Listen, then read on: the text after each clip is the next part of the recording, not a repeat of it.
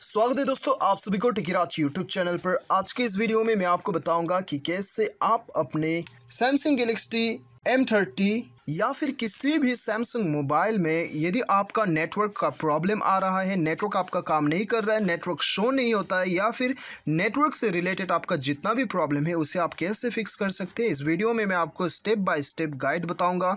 तो वीडियो के साथ बने रहिए और साथ ही साथ चैनल को सब्सक्राइब करके बेल आइकन को भी दबा दीजिएगा। और दोस्तों, यहाँ पर यदि आप ऑनलाइन पैसे कमाना चाहते हैं तो वीडियो डिस्क्रिप्शन लिंक चेकआउट कर सकते हैं। तो दोस्तों, चलिए बिना देर किए हुए शुरू करते तो दोस्तों, यहाँ पर क्या होता है कि हमें बहुत बार क्या होता है कि हमें अपना सैमसंग मोबाइल पे नेटवर्क शो नहीं होता है।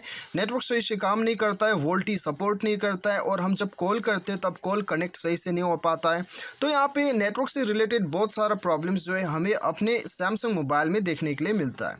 तो दोस्तों, इसे सोल्व करने के लिए मैं आपको यहाँ पर कम से कम तीन चार सोल्यूशन बताऊँगा, जिसके मदद से आप अपना प्रॉब्लम को डेफिनेटली सॉल्व कर सकते हैं। देखिए दोस्तों, सबसे पहले तो आपको जाना है अपने मोबाइल का सेटिंग्स पे।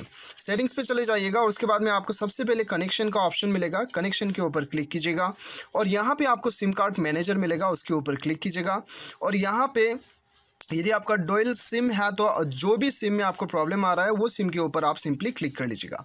अभी क्लिक करने के बाद में दोस्तों, यहाँ पे आपको नेटवर्क मोड का ऑप्शन दिखाई देगा। ये नेटवर्क मोड के ऊपर आपको क्लिक करना है, ठीक है?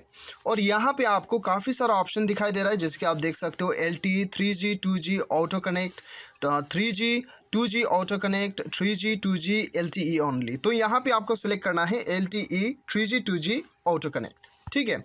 तो ये आपको कनेक्ट कर के रखना है। यदि आप three G two G connect करके रखते हो तो आपका मोबाइल यदि वोल्टी ई है तो क्या होता है कि आपका यहाँ पे नेटवर्क सही से काम नहीं करेगा। तो आपको यहाँ पे L T three G two G auto connect select करना है। उसके बाद में सिंपली आप वापस चले जाइए और वापस बैक जाने के बाद में दोस्तों, यहाँ पर आपको क्या करना है, और एक बार आपको वापस चले जाना है, और यहाँ पर आपको जाना है दोस्तों मोबाइल नेटवर्क पर मोबाइल नेटवर्क पे जाने के बाद में दोस्तों, यहाँ पे आप देख सकते हैं सिम वन सिम टू तो यहाँ से भी आप जो है वो सेलेक्ट कर सकते हैं, ठीक है? और यहाँ पे आपको वोल्टी ई जो है, ये आपको एनेबल रखना है। वोल्टी आपको एनेबल रखना ही रखना है, ठीक है? और उसके बाद में सिंपली दोस्तों आपको फिर से कनेक्शन पे जाना है और कनेक्शन पे जाने के बाद आपको दोबारा से मोबाइल नेटवर्क पे आना है। और यहाँ पे दोस्तों आपको नेटवर्क ऑपरेटर्स दिखाई दे रहा है। सिंपली यहाँ पे क्लिक कीजिएगा। और दोस्तों यहाँ पे आपको दो ऑप्शन दिया जाता है आपका नेटवर्क यूज़ करने के लिए, ठीक है? एक हो गया ऑटोमेटिकली और दूसरा हो गया मैनुअली अभी यहाँ पे दोस्तों आपको जो प्रिफर्डेबल है, वो जो है आपका यहाँ पे ऑटोमेटिकली है। तो यहाँ पे ऑटोमेटिकली सेलेक्ट कीजिएगा और सेलेक्ट करने के बाद में यहाँ पे ओके कर दीजिए। ओके करने के बाद में कुछ देर बाद जो है आपका नेटवर्क चला जाएगा और दोबारा से आ जाएगा, ठीक है? तो उसके बाद में आपका प्रॉब्लम सॉल्व हो जाना चाहिए। यदि आपका ऑलरेडी ऑटोमेटिकली है तो आप मैनुअली सेलेक्ट कीजिएगा। मैनुअली सेलेक्ट करने के बाद में आपका मोबाइल जितना भी नज़दीकी आपका टावर है, वो यहाँ पर डिटेक्ट कर लेगा। आपका जो भी नेटवर्क है, वो शो करेगा। तो मैनुअली वो सिलेक्ट करके आप जो है अपना नेटवर्क को सेटअप कर सकते हैं, लेकिन वो ज़्यादा देर तक नहीं चलता है, ठीक है?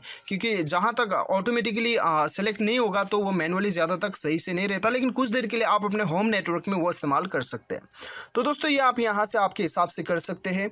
अभी हम बैक चले जाते हैं। दोस्तों, ये दो करने के बाद में दोस्तों, आपका प्रॉब्लम डेफिनेटली सॉल्व होना चाहिए।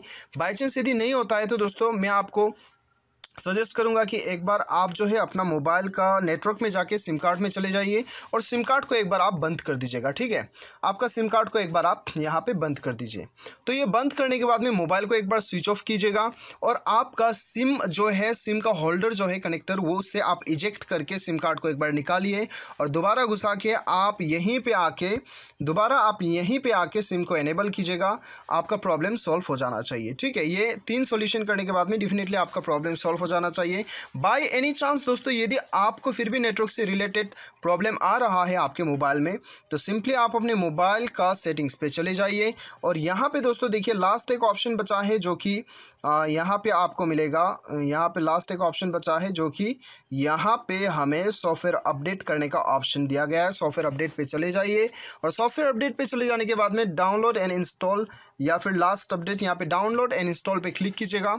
और यहाँ पे आपका जो है सॉफ्टवेयर सॉफ्टवेयर अपडेट चेक होगा, ठीक है? कभी कभी क्या होता है कि हमारे अपने हैंडसेट पर क्या होता है कि हमें प्रॉब्लम्स निकल जाता है तो इसलिए कंपनी जो है नेटवर्क से रिलेटेड काफ़ी कुछ नया लाता है, काफ़ी कुछ नया फीचर लाता है, ताकि हमारा नेटवर्क सही से काम कर पाए। तो इसीलिए यदि आपका सिस्टम आपको अपडेट माँगता है तो आपको यहाँ पर अपडेट कर लेना है। क्योंकि मेरा यहाँ पर ऑलरेडी अपडेटेड है तो मुझे अपडेटेड करने का ज़रूरत नहीं है, ठीक है? यह आप कर सकते हैं दोस्तों।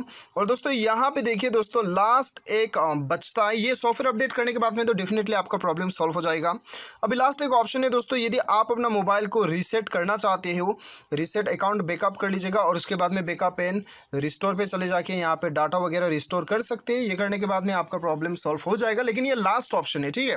अभी दोस्तों, ये सारा कुछ करने के बाद में भी प्रॉब्लम आपको फिर भी शो होता है तो आपको मैं लास्टली सजेस्ट करना चाहूँगा कि आप अपने नेटवर्क ऑपरेटर से बात कीजिएगा। कभी कभी क्या होता है कि उनकी तरफ़ से सर्वर डाउन होता है या फिर उनके तरफ़ से ही कोई टेक्निकल इश्यू होता है, उसी वजह से आपको प्रॉब्लम हो। सकता है, ठीक है? ये लास्ट सोल्यूशन है। आपको ये लास्ट में करना है, ठीक है? और दोस्तों, यहाँ पे आपका हार्डवेयर में कुछ प्रॉब्लम होता है सिम का स्लॉट वगैरह में कुछ प्रॉब्लम होता है, उस वजह से भी आपको प्रॉब्लम हो सकता है। वो केस में तो आपको टेक्नीशियन को विज़िट करके आपको मोबाइल दिखाना होगा, ठीक है? तो ये था दोस्तों कंप्लीटली सोल्यूशन उम्मीद करता हूँ कि आपको वीडियो पसंद आया होगा। Thanks for watching